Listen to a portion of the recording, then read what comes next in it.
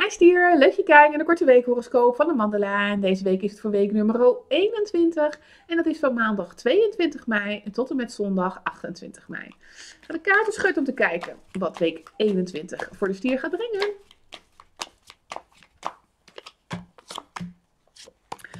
Lijkt het stier alsof deze week een week is waarbij je heel erg in je, je hoofd gaat zitten, in het verstand gaat zitten en het gevoel een beetje buitenspel zet.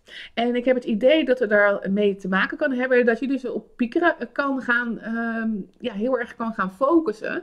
En misschien wel zelfs op dingen die, die even niet lekker lopen en dat je die misschien wel wat groter maakt. Zelfs dingen uit het verleden erbij kan halen. En het kan dus zijn dat je dan het gevoel hebt dat er ineens wel heel veel op je bordje komt.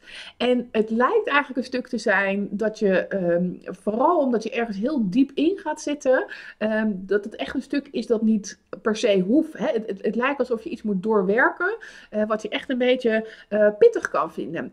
Um, het advies lijkt hierin eigenlijk juist te zijn, probeer iets meer met je gevoel te voelen. Uh, ik heb het idee dat het namelijk heel veel verlichting gaat geven.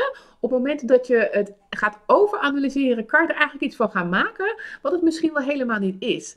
Probeer dus echt heel erg bij jezelf te blijven en probeer het met een, een gevoel en met je emotie ook eh, te bekijken. En niet alleen met het stuk heel zwart-wit gaan kijken, want dat kan ervoor zorgen dat je echt even wat klem komt te zitten.